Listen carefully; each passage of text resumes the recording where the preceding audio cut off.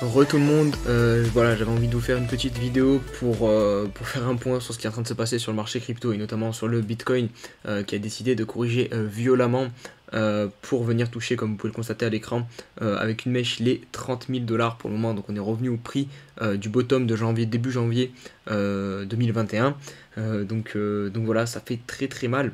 je vais essayer voilà, de, de, de, de on doit rassurer un maximum de personnes, euh, même si voilà, je vais être encore une fois le plus honnête avec vous, le plus objectif possible, euh, mais euh, voilà, pouvoir parler et donner mon, avis, peut-être que ça va rassurer certains.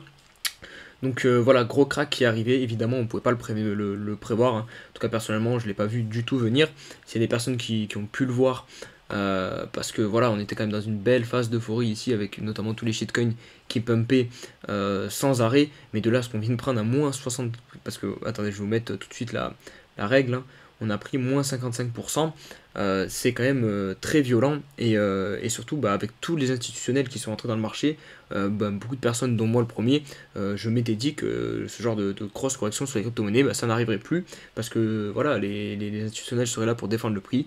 Finalement, pas du tout. on mange une, énorme correction, moins 55%. Donc voilà, après quand on remonte dans l'histoire des crypto-monnaies, c'est déjà arrivé, notamment en 2013 pendant le, bull run, on avait eu ce fameux bull run en deux parties. Donc là, on semblerait euh, peut-être se diriger vers cette, euh, solution-ci, euh, un espèce de, mini peut-être bear market en, deux temps, du coup un bull run en deux temps, parce que regardez si on se positionne sur le chart, notamment le, rainbow, chart, ce qui est intéressant de voir, c'est que le, Bitcoin il fonctionne par cycle, et, ça depuis sa création. À chaque halving, on a le début d'un bull run, et, il dure une certaine durée. Vous voyez, hop, à chaque fois, c'est, j'ai pas la, quantité de mois exacte, euh, mais euh, vous voyez, là, on est encore trop tôt. La, durée ici, elle correspond pas à celle-ci, parce que si jamais le bull run, le top était ici, est-ce que vous pensez réellement qu'on va rester comme ça à, stagner jusqu'à jusqu'au prochain halving en phase de, de consolidation? Ça me paraît, ça me paraît étrange.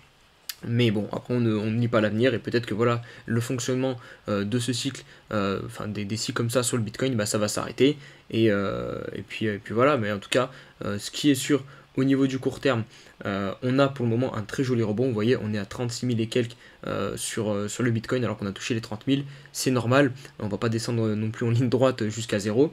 maintenant, ce qui reste intéressant à voir, euh, c'est déjà ne réagissez pas à chaud vraiment.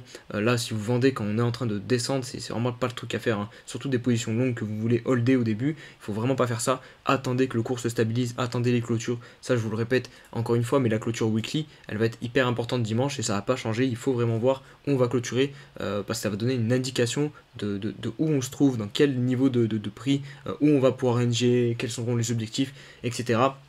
Vous voyez, rien qu'ici, on a déjà récupéré euh, juste sur un rebond de, quelques heures, minutes, 20%. Euh, donc, donc voilà, vraiment faites attention euh, quand vous essayez de, vendre dans ces moments-là, parce que vous avez de grandes chances de, vendre au pire des moments possibles et de, et de vendre un bag long terme en plus. Vraiment, si vous vendez du long terme, c'est la pire chose à faire. Euh, d'autant plus que de toute façon, je pense que vous n'avez pas pu réussir à vendre parce que beaucoup de plateformes, beaucoup d'exchanges euh, ont, saturé et ont craché. Donc vous ne pouvez pas vous connecter sur Binance, etc.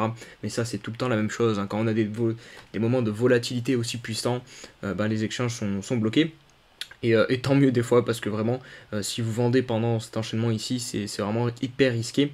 ce que vous pouvez faire évidemment aussi, c'est continuer le DCA, parce que clairement, euh, à moins 55% euh, sur du Bitcoin, euh, quand vous le payez, généralement derrière, il y a un gros rebond, et en plus, voilà, là on est en bull run, donc je pense que vraiment ici, c'est un bon prix à, payer pour, pour du Bitcoin. si le bull run et si les, cycles du Bitcoin, comme ce que je viens de vous montrer, continuent de fonctionner comme, comme ils ont toujours fonctionné, on devrait voir un Bitcoin à 100 000 dollars d'ici la fin de l'année en théorie, encore une fois. Après, c'est chacun ses convictions. Vraiment, si vous pensez que voilà, le Bitcoin euh, c'est terminé, que, la Chine va vraiment bannir le Bitcoin, etc., que vous croyez euh, à ces news, euh, enfin, que vous ne croyez plus aux fondamentaux du Bitcoin, que vous pensez que, là on a atteint le prix du, Bitcoin à 65 000 dollars et pas plus, et eh ben c'est faites, faites vos choix en fonction de ça. Encore une fois, moi je, je, me, je vous donne juste mon avis et j'ai su me forger mes propres convictions.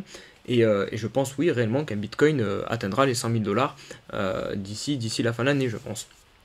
Maintenant, si vous souhaitez à tout prix vendre vos bitcoins ou vos crypto-monnaies parce que voilà, vous avez trop perdu et vous ne croyez plus dans, les crypto-monnaies, et eh ben voilà, vous attendez les rebonds comme ce qu'on est en train de faire là. Là, par exemple, vous pouvez vendre. Hein. vraiment, on a pris, on a dû récupérer quasiment 22%. Donc voilà, vous pouvez vendre une petite partie, ne vendez pas tout. Encore une fois, le, mieux à faire, c'est de, de, sortir par palier et aussi de racheter par palier. Comme ça, parce que de toute façon, c'est impossible de trouver le top. Ou alors il faut de la chance. Et pareil pour le bottom, on peut pas acheter au plus bas, on peut pas acheter au plus haut. C'est comme ça, c'est trop imprévisible. Donc le mieux à faire, c'est sortir par palier et rentrer par palier. Mais de bien comprendre aussi euh, le, phénomène de vague. Donc là, on a, on a, fait une première vague de baisse, hop, sur le daily, vous voyez, et on va forcément avoir un rebond. Forcément, le cours va réagir. Et c'est ce qu'on est peut-être en, train de faire, mais il va falloir attendre des clôtures daily. Et, euh, et puis voilà. Donc c'est pour ça que si vous voulez vendre à tout prix, attendez qu'on fasse les rebonds comme ça. Euh, vous, ne faites, vous ne vous faites pas sortir par une grosse mèche, parce que là, par exemple, c'est possible qu'on revienne clôturer au-dessus de 42 000 dollars. Vraiment. Et que derrière, le Bitcoin reparte très rapidement.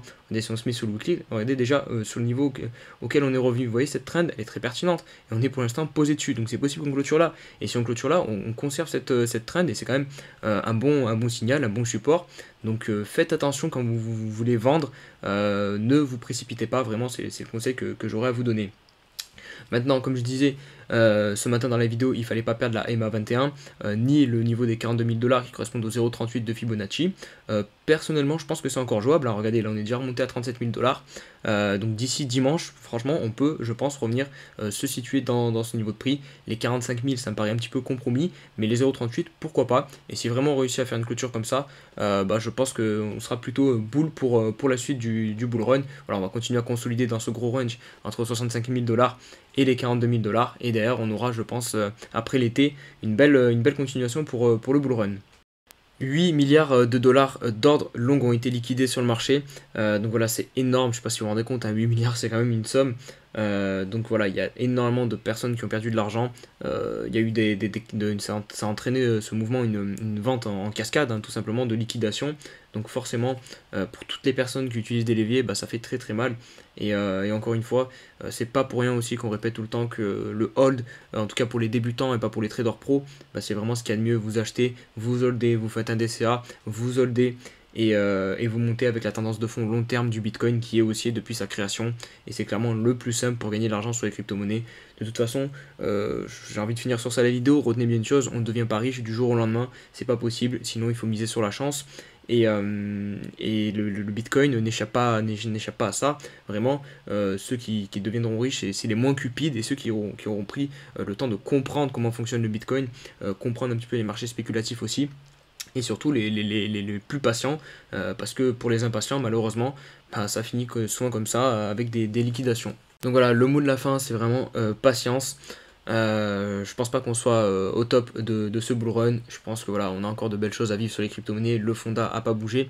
Et euh, encore, on aurait eu des, vraies news qui auraient mis en péril le bull run. Je veux bien. Mais là, le FUD qu'on a eu ces derniers jours, c'est assez ridicule. C'est tout tombé en même temps.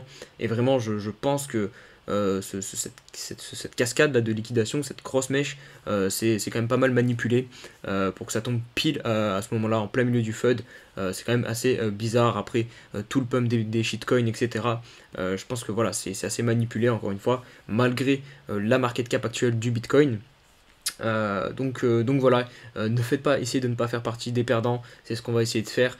Euh, après voilà, on n'a pas de boule de cristal, on essaie de essayer ne jouer que l'argent que vous pouvez perdre, enfin n'investissez parce que c'est pas non plus un jeu, on n'est pas au casino. Euh, donc voilà, vous investissez que l'argent que vous pouvez perdre. Et, euh, et puis voilà, surtout ne vous empêchez pas de dormir la nuit. aussi très, c'est un conseil tout bête, mais vraiment quand vous dormez mal la nuit, c'est que vous avez trop investi sur les crypto-monnaies, donc réduisez un petit peu vos positions. soyez rationnel et puis, puis ça va le faire tranquillement. Allez, on se dit à demain pour, pour l'analyse du jour.